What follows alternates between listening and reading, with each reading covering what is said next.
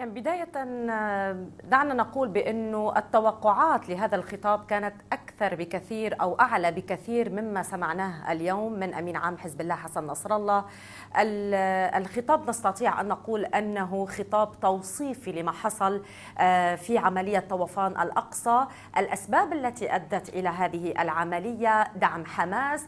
جزء من هذا الخطاب أيضا هو تطميني للشعب اللبناني وللبنانيين الذين كان آه، البعض منهم يتوقع أن يعلن أمين عام حزب الله عن الحرب. جزء من هذا الخطاب كان يتعلق بالدعم دعم لحركات المقاومة دعم لحماس ودعم لأهالي غزة الذين يعانون من آه، كل هذه الاعتداءات والإبادة والمجازر الإسرائيلية.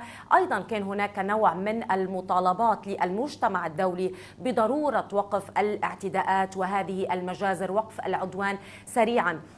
جزء من من الخطاب أيضا تطرق إلى موضوع الجبهة الشمالية وعندما قال بانه حزب الله أو أن حزب الله داخل هو داخل في المعركة من الثامن من أكتوبر، في الثامن من أكتوبر عندما دخل حزب الله في المعركة بدأ في القطاع الشرقي عندما استهدف عدد من المواقع الإسرائيلية، وبعدها سمعنا أيضا خطابات المسؤولين مسؤولي حزب الله يقولون بأنهم أو أن الحزب هو في صلب هذه المعركة، أي انه كل ما سمعناه في السابق أتى ليعيده. أمين عام حزب الله ويقول بأنه الحزب ليس صحيحا أنه لم يدخل المعركة بعد وأنه ما يجري على الحدود نوع من التسخين أو التوتر أو التصعيد باتجاه الدخول بشكل أكبر وتوسعة الحدود ولكنه ربط ذلك أيضا بموضوعين هما كيف ستتصرف إسرائيل أو بمسار الأمور آه، آه، في الداخل آه، في غزة بالتحديد وأيضا إذا ما كانت إسرائيل سترتكب أي نعم.